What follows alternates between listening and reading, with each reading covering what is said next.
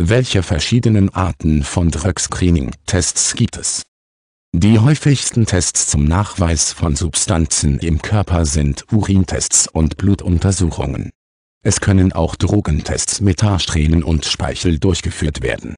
Einige Drogentests werden in einem Labor, einer Arztpraxis oder einem Krankenhaus durchgeführt, aber viele Drogentests können überall durchgeführt werden. Manchmal kaufen Menschen zu Hause Drogentests, um ihre eigenen Ergebnisse oder die Ergebnisse einer anderen Person im Haushalt zu überprüfen. Für die grundlegendste Art von Drogentests kann ein Drogentest mit fünf Testfeldern verwendet werden. Es erkennt das Vorhandensein der fünf am häufigsten missbrauchten Drogen auf der Straße. In der Regel umfasst der Test mit fünf Testfeldern den Nachweis von Kokain, Marihuana, Amphetaminen, Opiaten und Phenylcyclohexylpiperidin, auch bekannt als Engelstaub. Ein umfassenderer Test wird treffend als 10-Penel-Wirkstoff-Screen bezeichnet.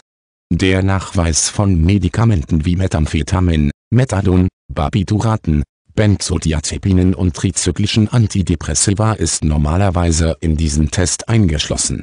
Die in einem fünfstufigen Drug-Screening gefundenen Medikamente werden auch im 10-Panel-Test nachgewiesen Urintests sind die am häufigsten angewendete und kostengünstigste Methode zum Wirkstoffscreening.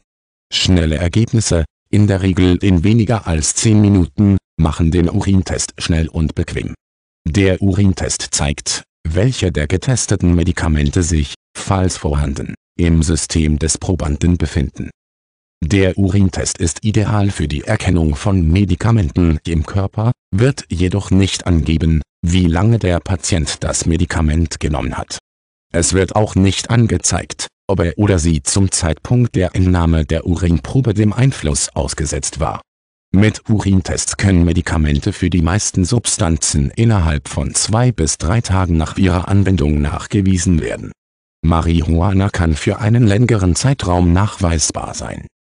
Speicheltests können in der gleichen Zeit in der gleichen Zeit die gleichen Ergebnisse liefern wie Urintests.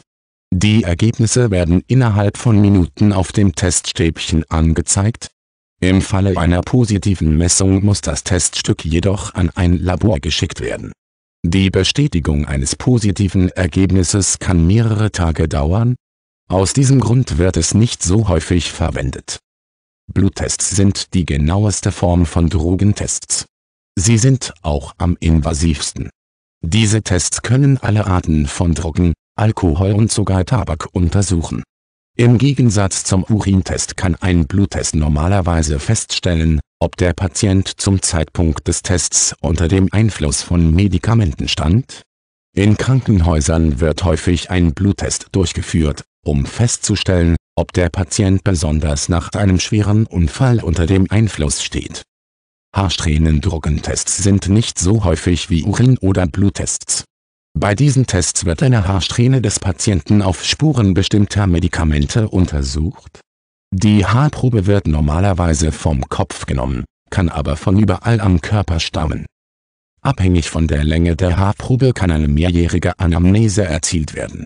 Im Laufe der Zeit sammeln sich auf natürliche Weise kleine Spuren von Wirkstoffmolekülen in der Haarsträhne an.